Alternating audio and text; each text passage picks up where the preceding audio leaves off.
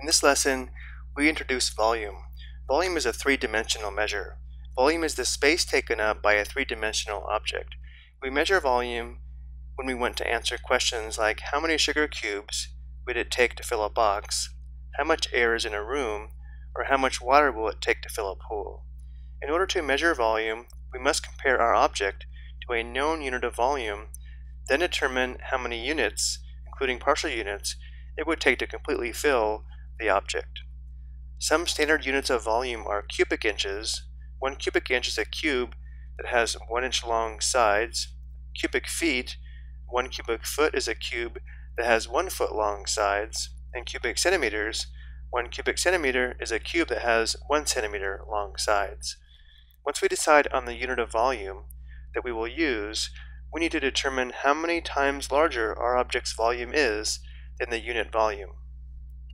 More simply, we count how many of the units it takes to completely fill our object. Let's look at a couple of questions. For part A, we are asked to create an object that has a volume of 24 cubic centimeters using centimeter cubes.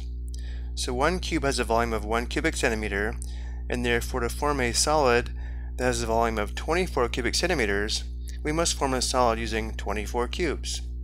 And let's build our solid in steps. Let's first use 12 cubes to make a solid that has a volume of 12 cubic centimeters as shown here. Notice how we have three rows of four cubes giving us a total volume of 12 cubic centimeters.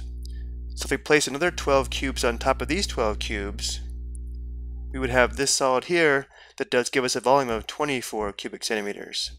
The first layer of cubes has a volume of 12 cubic centimeters, and so does the second layer giving us a total volume of 24 cubic centimeters. In part B, we were asked to determine the volume of the toy staircase shown by imagining that it is filled with centimeter cubes. So looking at the figure, notice how this length is one centimeter and so is this length. But this length is given in meters. We need to write this length in centimeters in order to find the volume in centimeter cubes or cubic centimeters.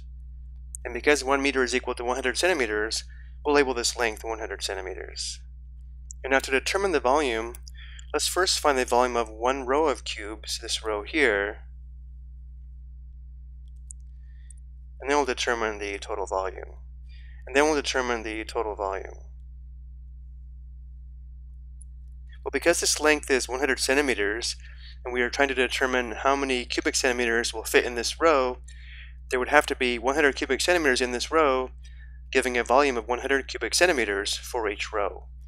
And notice how there are a total of 1, 2, 3, 4, 5, 6 rows, all with a length of 100 centimeters to form the staircase, and therefore the total volume is equal to 6 times 100 cubic centimeters, which is equal to 600 cubic centimeters. Again, each row contains 100 cubic centimeters, giving a volume of 100 cubic centimeters, and there are six rows, giving a total volume of 600 cubic centimeters. I hope you found this helpful.